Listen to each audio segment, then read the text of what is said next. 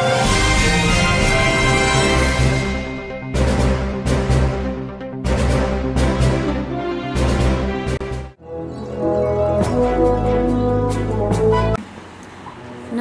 म अन्जु पन्त।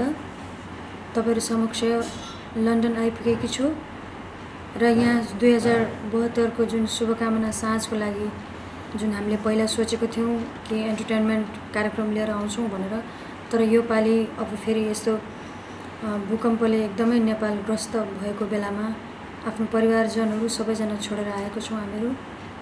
र अब आजसम्म पनि रिकभर हुन अलिक गाह्रो भइरहेछ कि सपना हो कि विपना भइरहेछ।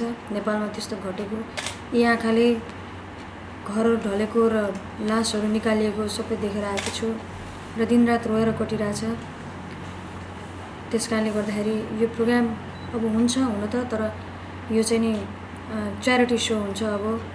सबै त्यहाँको जति पीडितहरू हुनुहुन्छ उहाँहरूको लागि आज पनि मैले मेरो रेकर्डिङका जति पनि पैसाहरू आउनेवाला छ त्यो सबै चाहिँ नि त्यहाँ पीडितहरूलाई लगेर दिइदिनु।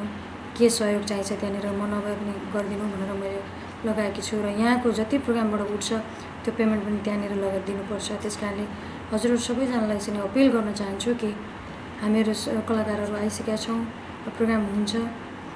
दुःख सुख जे जे भए पनि हामीहरू एकै ठाउँमा भेला भएर जति दुःखीहरू हुनुहुन्छ उहाँहरूको लागि केही राहतको लागि जम्मा हौँ भन्ने म अपिल गर्न चाहन्छु। र विजयजी ग्रुपले जुन गर्नुभएको छ यो प्रोग्रामको लागि उहाँहरू अर्गनाइजर टिमलाई धेरै धन्यवाद दिन चाहन्छु कि यस्तो दुःखद घडीमा पनि उहाँहरूले हौसला राखेर हामीलाई बोलाउनु भएको छ।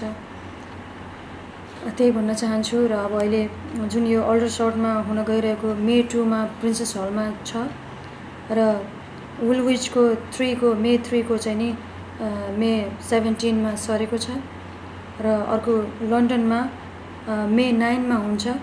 र फोक्सटनमा केन्टमा मे टेनमा हुन्छ। यहाँहरू सबैलाई आग्रह गर्न चाहन्छु किनकि त्यहाँनिर पाल एउटा नभएर गाह्रो भइरहेको छ दिनरात पानी परिरहेको छ र खाना नभएर पिउना नभएर मान्छेहरूलाई त्यस्तो गाह्रो परिरहेको छ। त्यस कारणले गर्दाखेरि हामी सबैजना एकै परिवार छौँ। एकले अर्कालाई साथ सहयोग हुनुपर्छ। त्यस कारणले यी आँखाबाट आँसु हटेको छैन। आजबाट अलिकति बल्ल दुई घन्टा सुतेकी छु। त्यस कारणले यहाँहरू सबैजनालाई अपिल गर्न चाहन्छु प्लिज। आइदिनु होला। एकै ठाउँमा बसेर। हृदयको फुल लिएर हामीले अगाडि बढ्नेछौँ। त्यही भन्न चाहन्छु। Thank you very much